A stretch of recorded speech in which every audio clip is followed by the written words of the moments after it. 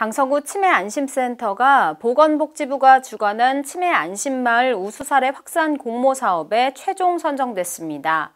강서구 치매안심센터는 이번 공모에 선정돼 확보한 국비 3천만 원으로 등촌 3동을 인지건강 디자인 치매안심마을로 꾸며나갈 계획입니다.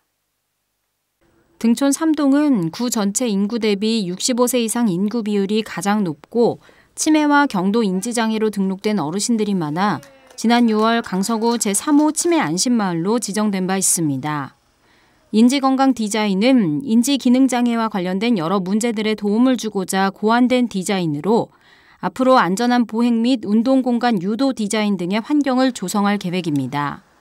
한편 강서구 치매 안심센터는 이번 공모 사업을 시작으로 지역 주민들도 체감할 수 있는 다양한 사업들을 추진해 치매 걱정 없는 강서구를 만드는데 최선을 다한다는 방침입니다.